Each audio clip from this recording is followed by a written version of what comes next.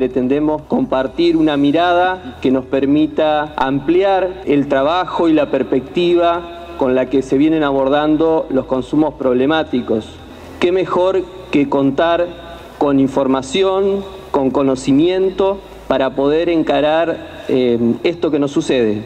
Agradecerle a Federico que, que hoy nos está acompañando y que nos va a brindar conocimientos para que esos conocimientos también nos ayuden a trabajar juntos en prevenir problemas que podemos tener a veces como individuos, como familia y como sociedad. La tecnología es necesaria en el trabajo, con las amistades, etcétera, pero todo tiene que saber ser usado.